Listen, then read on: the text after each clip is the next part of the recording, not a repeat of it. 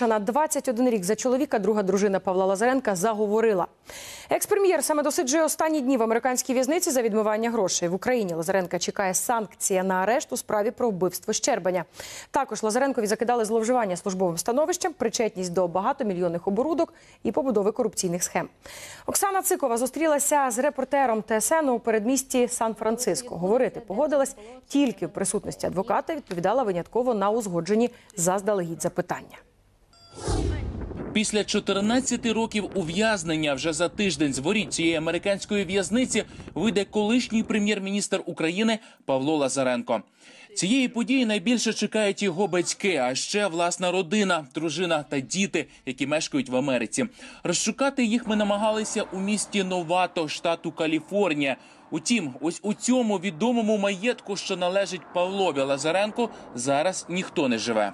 Знайти дружину експолітика Оксану Цикову вдалося в передмісті Сан-Франциско. Після тривалих роздумів жінка погоджується на перше у своєму житті інтерв'ю.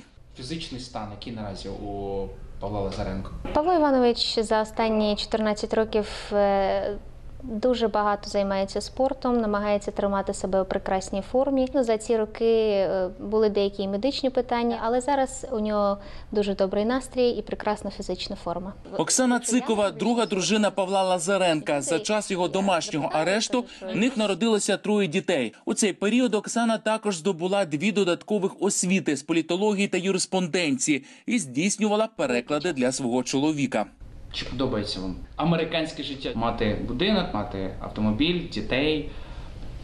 Це можна назвати американською мрією? Якщо, якщо не говорити про Павла Лазаренка. Американська мрія для мене це повноцінна родина, це те, щоб е, всі ми були разом. Але це може відбутися вже 1, 1 листопада. Ви чекаєте цієї події? Так, звісно, я чекаю цієї події е, і дуже сподіваюся, що вона відбудеться саме так, як ми цього плануємо. Але дуже багато буде залежати, напевно, не від нашого бажання, а від того, що буде робити українська влада. Найбільше Оксану турбує, чи скасують звинувачення до Павла Лазаренка в Україні. Я хвилююся за те і думаю про те, е, яка буде реакція щодо зарахування е, того сроку, який Павло Іванович був тут. Я хвилююся за передвійне переслідування. Хвилювання щодо повернення Лазаренка на батьківщину має і його адвокат Деніел Горовіц, який працює з екс-головою уряду вже 10 років. Він побоюється, що його клієнта можуть ув'язнити, щойно той повернеться в Україну.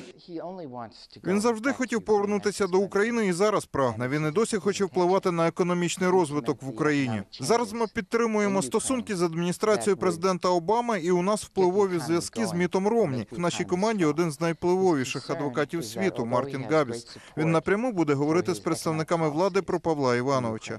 Ви говорите про безпеку. А чи безпечно для Павла Лазаренка залишитися в Америці? Ви знаєте, ми дійсно думаємо про це. Розповідати зараз будь-які деталі буде некоректно з мого боку, але я думаю, що безпечніше тут. Хоча, якщо Україна гарантує цю безпеку, повернення відбудеться вже найближчим часом.